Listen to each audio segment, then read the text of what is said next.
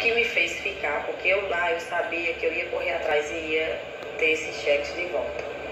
E que eu não tinha nenhuma dúvida, pagamento cheque, eu pedi exoneração e ia embora. O que mais me prendeu foi isso daí. Porque aquela história, rei morto, rei posto, eu não ia ser nem recebida. E Leandro me dizia isso todos os dias, Ivana, você, cuidado no que pode acontecer. Era isso. Aí, contar o que aconteceu para esses dois cheques. Para pagar. Existia uma licitação de um presídio, que eu acho que ainda existe, eu não sei. O Alexandre Mozinho, que é o dono da Contec, me procurou e disse que esses dois cheques ficariam resolvidos caso ele ganhasse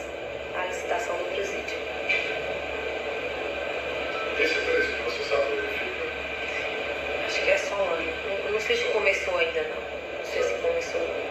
Houve uma licitação em dezembro. A licitação foi revogada, porque o Ministério da Justiça não acatou do jeito que estava. Essa licitação começou de novo. Foi é, feita, realizada o início dela no dia 4 de fevereiro de 2019.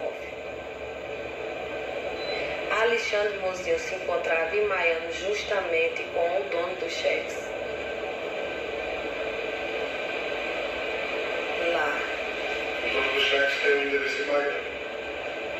Soube através de Alexandre Mozinho, ele me disse que tinha esse endereço lá e os dois estavam lá, segundo ele, coincidentemente.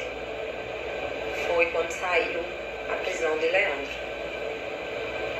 Eu fui mais uma vez a João e disse a João, eu já estou complicada demais. E disse mais a Lívia, eu não sei qual a parte que vocês não entenderam ainda. Se eu cair, cai todo mundo.